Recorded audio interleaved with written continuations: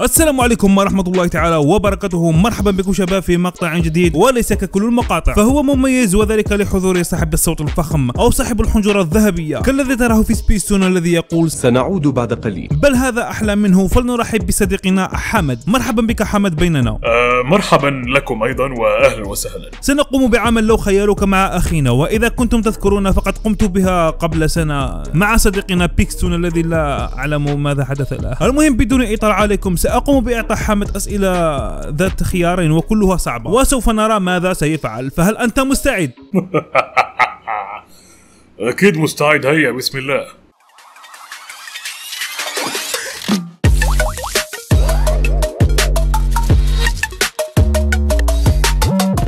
لو خيرك أخي حمد بين العمل في اليوتيوب مدى حياتك أو الدراسة لمدى حياتك ماذا كنت لتختار؟ آه اليوتيوب مدى الحياة. عرفت يا جماعة؟ شو؟ الحين يا جماعة إن شاء الله أنا بدرس إعلام في جامعة. فمعناته بدرس إعلام. إعلام يعني يخص الفيديو. فمعناته أدرس- أدرس إعلام وأسوي يوتيوب. حسنا لو خيرك أن تعيش طوال حياتك مع أمك أو أبوك. أعلم أنهما الأعز عليك في حياتك لكن في موقف ما عليك الاختيار بينهما. ماذا كنت لتختار؟ أوه إنه خيار صعب جدا يا تركتون لكن آه، أمي أم أبي آه، سأفضل أمي لأن الرسول قال أمك ثم أمك ثم أمك ثم أبيك.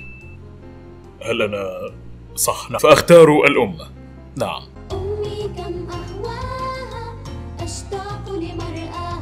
ربي يحفظ لك الوالدين. أوكي لو خيرك بين أكل الصلصة الحارة أو أكل الثوم بصراحة ماذا تختار؟ أفضل أن آكل الصلصة الحارة اللذيذة.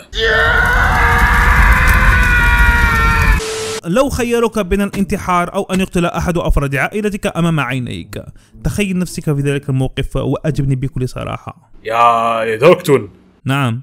الاسئله دي إيه الانتحار وأفرادك؟ يا أخي يا أخي أنا أعشق الأجواء التي يكون فيها الشخص محاصر هكذا ولا يوجد سبيل. اسأل أسئلة حلوة لكن أه بختار الانتحار لأنني ببساطة لن أرى شيئا يعني أمامي فانتحر.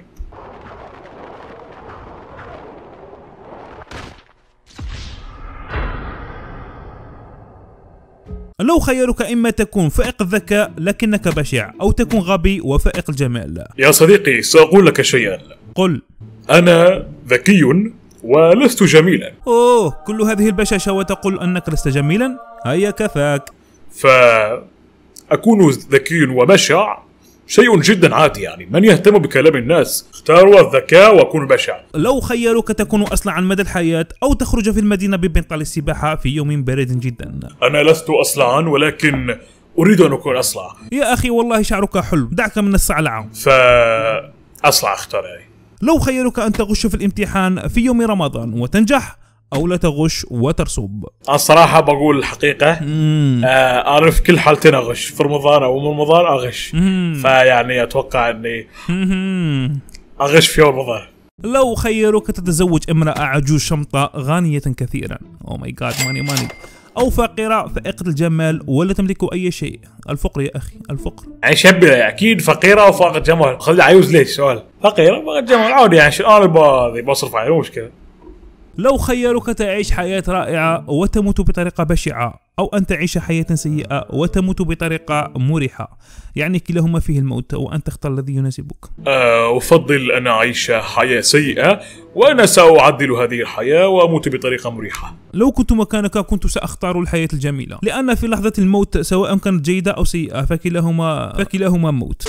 وأخيرا لو خيرك يا أخي وصديقي تتزوج وتعيش أربعون سنة فقط أو أعزب وتموت في العمر الثمانين ماذا كنت لتختار؟ حسنا سأختار أتزوج وأعيش 40 سنة لا أدري ممكن لا أموت 40 سنة ولكن لنتخيل يعني. فأختار 40 سنة كيف كان شعورك يا حمد وأنت تتعرض لهذه الاختبارات؟ آه صراحة يا دكتور يعني أنا شخص ما عندي مشاعر فشعوري كان جدا عالي يعني لو كان كل شيء حقيقي وكنت في تلك المواقف أكنت لتعملها أو تقوى شيئا آخر؟ آه لو كان صدق يعني إيه لو كان صدق إيه يمكن إيه يمكن أتوقع بس ممكن لي 40 سنة ويخليها 80 فيعني يمكن يعني احتمال. ما هو أسوأ اختيار من بين هذه الاختيارات؟ أسوأ اختيار أتوقع اللي هو الانتحار أو قتل أحد أفراد من عائلتك أمام عيني. أشكرك صديقي على هذه الزيارة الرائعة فقد استمتعت معك. آه لقد استمتعت كثيرا لأنه كان شيئا جديدا وسرت خلاص. ما رأيك أن تقول شيئا للدارتونيين؟ سأقول شيئا واحدا. أرجوك اجعل هذه الأسئلة منطقية. اجعل هذه الأسئلة منطقية. حسنا وهذا ما لدي. وإلى اللقاء. مع السلامة. حسنا في المرة القادمة سأجعلها أكثر منطقية. سوف أكثر لك من الانتحارات المهم يا شباب كان هذا الشخص عزيزا علي كثيرا. لذلك ما رأيكم أن تزوروا قناته؟ فهي رائعة جدا. ستجدون الكثير من المقاطع التي يمكنكم أن تتمتعوا بمشاهدتها. لذلك اذهبوا واشتركوا معه فإنه عزيز على قلبي. أحبكم. وكان هذا كل شيء لهذا اليوم. أراكم في مقطع آخر. كان معكم أخوكم دارك أو عبدو. مع السلامة.